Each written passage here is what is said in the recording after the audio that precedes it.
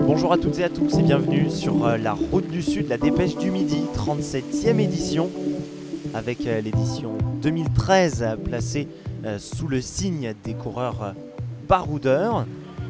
Car cette année, il n'y aura qu'une étape reine, ce sera à l'occasion de l'étape de samedi, direction Bagnères de Luchon, avec notamment le Port d'Alès qui interviendra dans les 50 derniers kilomètres. Aujourd'hui, nous avons 15 équipes engagées, dont 7 équipes étrangères, 4 formations Pro Tour, et également l'équipe Europe Car. Nous avons engagé également l'équipe Cofidis avec l'un des régionales de l'étape, c'est Stéphane Pouliès. Comme d'habitude, chaque année, c'est la seule course qui part à côté de la maison euh, ou qui arrive.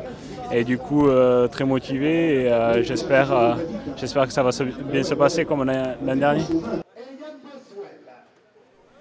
On retrouve notamment au départ Franco Pellizzotti, le champion d'Italie, et parmi également les coureurs engagés, la formation Big Aubert 93 qui aura pourquoi pas une belle carte à jouer aujourd'hui avec leur sprinter Benoît Drujon. C'est donc parti pour 209 euh, km au programme entre Castres et Mirande pour une étape inédite. Justement, le profil de l'étape avec trois côtes de troisième catégorie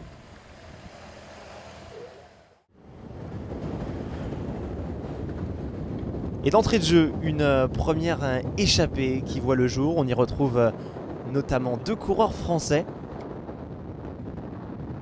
On retrouve donc Thomas Rostoland de la pomme Marseille, Romain Hardy de l'équipe Cofidis et pour terminer Emmanuel Essela de la formation Androni Chocatoli pendant que le peloton, lui, se détend un petit peu plus dans les 50 premiers kilomètres. À noter que cette échappée est partie d'entrée de jeu.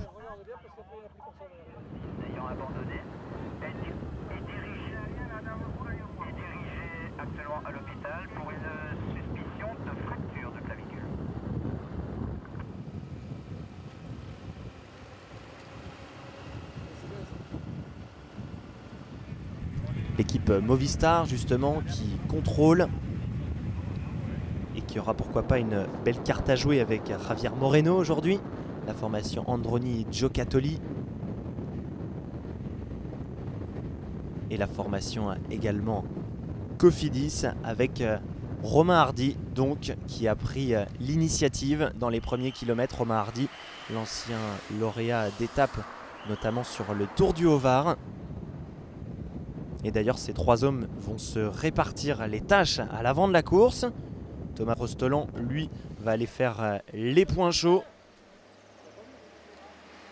Et Romain Hardy, lui, s'occupera plus du classement de meilleur grimpeur. Thomas Rostolan qui s'était distingué d'ailleurs sur le Tour de la Manche et qui est passé professionnel cette année. La formation AG2R La Mondiale qui euh, commence à rouler un petit peu plus. Forcément, on roule pour le feu follet Samuel Dumoulin récent lauréat sur euh, le Grand Prix de Plumelec-Morbihan sur le week-end breton Coupe de France.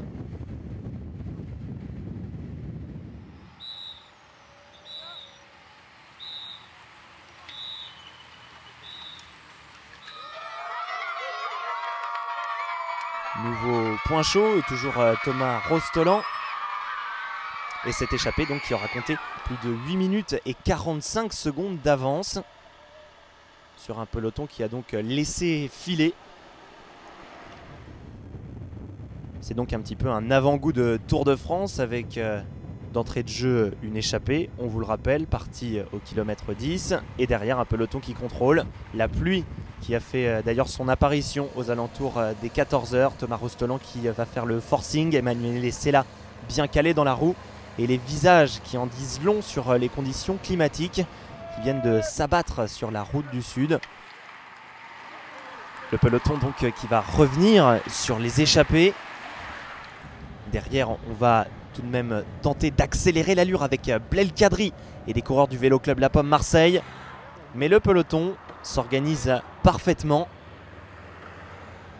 Et à l'amorce des 10 derniers kilomètres, on retrouve la formation Sky, qui elle aussi tente de s'organiser, mais c'est véritablement le coureur de la Pomme Marseille qui va jouer le bon coup et qui va débouler en première position à l'entrée de Mirande.